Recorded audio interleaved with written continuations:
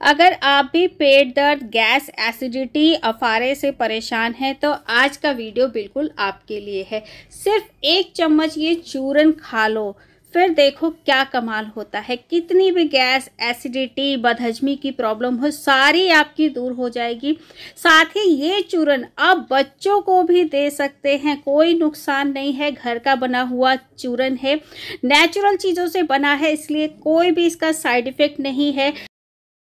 हाय friends मैं गीता वर्मा, गीता की new recipes Hindi में एक बार फिर से आपका बहुत बहुत स्वागत करती हूँ। फ्रेंड्स अगर आज का ये वीडियो आपको अच्छा लगता है तो इसे लाइक करना बिल्कुल मत भूलिएगा, दूसरों के साथ शेयर करिएगा कमेंट करिएगा और चैनल पे पहली बार आए हैं तो सब्सक्राइब करके ज़रूर जाइएगा।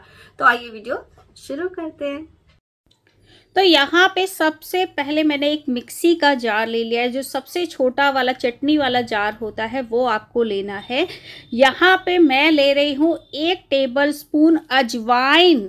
अजवाइन आप जानते हैं, जब भी हमें गैस होती है, एसिडिटी होती है तो हम अजवाइन का सेवन करते हैं। क्यों करते हैं? क्योंकि इससे जितनी भी गैस बनी होती है, वो सारी निकल जाती है।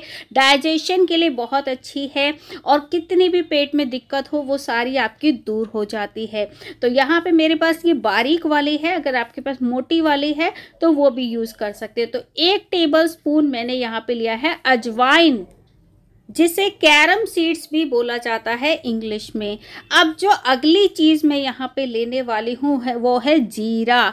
और जीरे को आप जानते हैं, डाइजेशन के लिए हम लोग यूज़ करते हैं जीरे को खाने में यूज़ करते हैं, टेस्ट के लिए यूज़ करते हैं, पर इसके बहुत सारे फ़ायदे हैं, सिर्फ़ टेस्ट ही नहीं देता है। ये हमारे पेट के लिए बहुत ही अच्छा है। कितनी भी दिक्कत हो, आपको पेट दर्द हो रहा है, गैस है, एसिडिटी है, सब इससे आपकी दूर हो जाती है।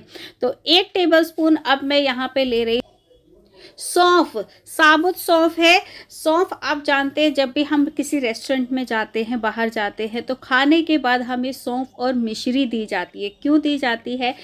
इससे हमारे पेट का डाइजेशन अच्छा होता है, कितना भी हैवी खाना आपने खाया हो, हाजमा होता है बहुत अच्छे से, साथ ही जो मुँह से स्मेल आती है खाना खाने के बाद, वो भी नहीं आती है। तो यहाँ पे एक एक टेबल स्पून मैंने अभी तक सारी चीज़ें ली हैं। नेक्स्ट इंग्रेडिएंट बहुत ज़्यादा कमाल का है। बहुत लोग जानते भी होंगे, इसके बारे में बहुत लोग नहीं भी जानते होंगे। तो मैं आपको बता देती हूँ, ये बहुत ही कमाल की चीज़ है, इसका नाम है छोटी हरड़। ये आपको किसी भी किराने की दुकान पे आसानी से मिल जाती है और ये छोटी छोटी इस तरह से होती है और ये इतना कमाल का काम करती है ना पेट के लिए कि बस पूछो मत। इसके इतने सारे फ़ायदे हैं, पेट के लिए बहुत अच्छी है। अगर आपको खाना हजम नहीं होता है तो ये आपका खाना हजम कर देगी। खाने के बाद खट्टी डकारें आती है, एसिडिटी की प्रॉब्लम रहती है, सब आपकी दूर हो जाएगी। तो यहाँ पे मैंने सात से आठ पीस इसके डाल दिए हैं और अब जो नेक्स्ट चीज़ मैं यहाँ पे यूज़ कर रही हूँ हाफ़ टी स्पून सेंधा नमक। सेंधा नमक भी डाइजेशन के लिए बहुत ही अच्छा होता है, साथ ही बीपी वालों के लिए तो बहुत ही अच्छा है, क्योंकि इससे बीपी नहीं पड़ता है। और यहाँ पे जो अगली चीज़ मैं ले रही हूँ, काला नमक। काला नमक जानते हैं डाइजेशन के लिए खाया जाता है, खाने को हजम करता है। तो यहाँ पे मैंने ले लिया है एक टीस्पून के करीब काला नमक। तो काला नमक बहुत ही अच्छा होता है और आसानी से सभी को मिल जाता है, सबके घर में होता ही है। तो यहाँ पे जो भी चीज़ें मैं यूज़ कर रही हूँ, आपको आसानी से मिल जाएगी। कोई भी चीज़ ऐसी नहीं है जो ना मिले। अब जो नेक्स्ट चीज़ मैं यहाँ पे यूज़ कर रही हूँ, एक टीस्पून हींग। और हींग तो आप जानते ही होंगे कितनी अच्छी होती है पेट के लिए, कितनी भी गैस बन रही हो, आपके पेट में सब निकल जाती है, खाने को अच्छा फ्लेवर देती है। इसीलिए डाला जाता है क्योंकि एक तो टेस्ट बढ़ जाता है खाने का, साथ ही डाइजेशन बहुत ही अच्छा होता है इससे।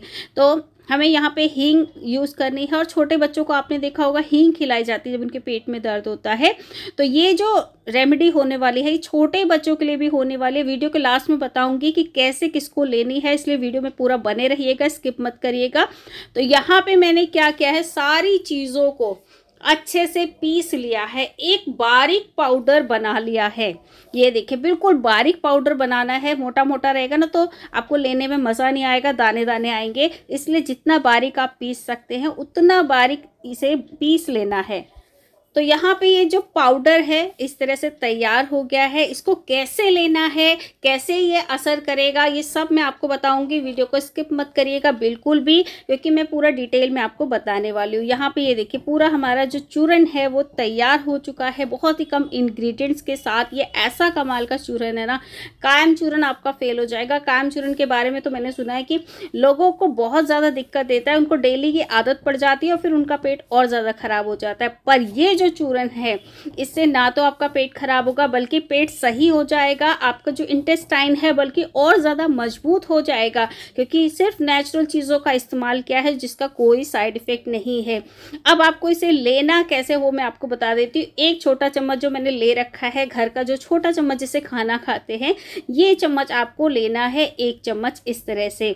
पूरा भर के मत लीजिएगा। अगर ज़्यादा दिक्कत है तो एक भर के चम्मच ले सकते हैं, बट वैसे एक छोटा चम्मच इस तरह से चल जाएगा। इसे आपको कैसे लेना है?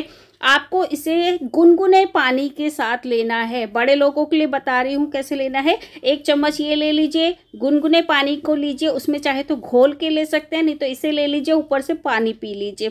तो इस तरह से आपको लेना है जब भी कोई दिक्कत लगे। अगर नहीं भी दिक्कत है ना, अगर भारी खाना आपने कोई खाया है तो उसके बाद भी इस चूरन को लिया जा सकता है। अब मैं आपको बताती हूँ छोटे बच्चों को इसे कैसे देना है।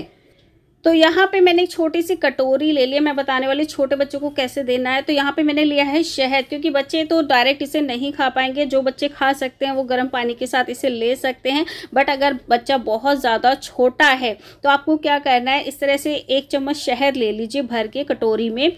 और उसके बाद मैं आपको बताती हूँ क्या करना है। तो यहाँ पर अब इस चूरन को मैं इसके अंदर मिलाने वाली हूँ। बहुत ध्यान से देखिएगा, गलत तरीके से देंगे तो इसका जो प्रभाव है, वो गलत भी हो सकता है। अगर ज़्यादा दे दिया तो बच्चे का पेट भी ख़राब हो सकता है। तो जैसे मैं बता रही हूँ, बिल्कुल वैसे ही देना है। मैंने इससे चम्मच से आधा चम्मच इसके अंदर डाला है, पूरा भर के नहीं डाला है, ठीक है? तो ये मैंने इसके अंदर मिक्स कर दिया इस तरह से। ये हमारा पेस्ट बन गया है और अब इसे आपको कैसे देना है? दस साल से ऊपर का बच्चा है तो आप इसे एक चम्मच उसे दे सकते हैं भर के। पाँच से दस साल का बच्चा है तो आधा आधा चम्मच करके आप उसे दे सकते हैं। अगर दो से पाँच साल का बच्चा है तो आप क्या कर सकते हैं, इसका एक चौथाई चम्मच एक बार में आपको देना है। एक साथ मत दीजिएगा सारा। वन फोर्थ टी स्पून कर करके आपको तीन से चार बार इसे दे सकते हैं।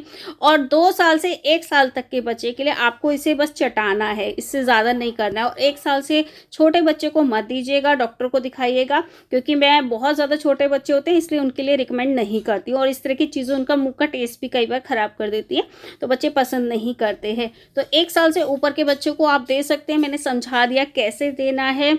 और बड़े लोगों को बता दिया कि किस तरह से लेना है। एक चम्मच लीजिए, इसे गर्म पानी के साथ और सुबह चाहे तो अगर आपका पेट नहीं साफ़ होता है, सुबह खाली पेट इसे एक चम्मच डेली ले सकते हैं, कोई प्रॉब्लम नहीं होती है। आज का वीडियो अच्छा लगे तो लाइक कमेंट शेयर करना बिल्कुल मत भूलिएगा। चैनल पर पहली बार आए हैं तो सब्सक्राइब